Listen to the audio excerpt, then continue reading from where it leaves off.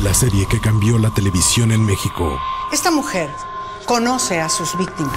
Con las historias más electrizantes. Yo ya revisé el cadáver. Le pegaron aquí, salpicó hacia allá. Ahí está la sangre. Ellos crearon un equipo para encontrar la verdad. La prueba de pólvora en sus manos dio positivo. Quiere decirnos qué fue lo que pasó. Es personal. Para todos debería de ser personal. Es muy importante que aclares tus ideas. Es que nada tienes que saber que aquí estás segura. Tenemos una relación de los posibles objetos utilizados por el asesino. Nos acaban de enviar información recabada por la Procuraduría. Doctora, estamos armando el rompecabezas.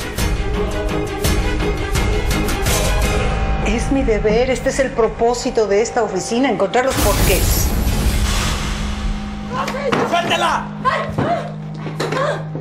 Asesinas 3.